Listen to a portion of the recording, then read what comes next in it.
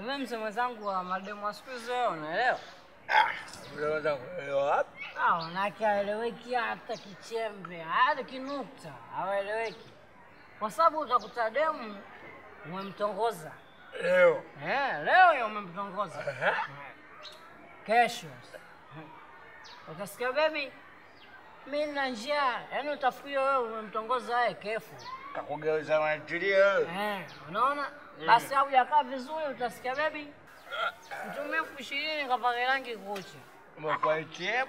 Ah, bwana unazoua kichizi hao. Utasikia bebi, Wiki ile lile ulonikuta nao ni lazima kwa Halima nipe elfu nane nikanunua wiki langu. Aya. Ah, ah, Wakati huo mna wiki.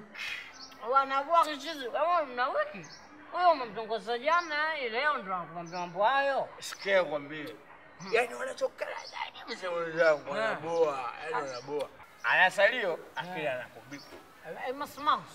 Ili mradi tu ukisikia tu. Nitumie. Umemkuta umemtongoza na smartphone na kile akija kwako anatumia kiswaswali. Ili mradi Apate smartphone mbili. Ndio.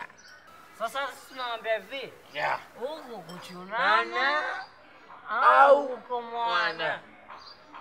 Cha msingi na cha muhimu na cha mfereji na cha sekondari na kikuu, tusikomoaje.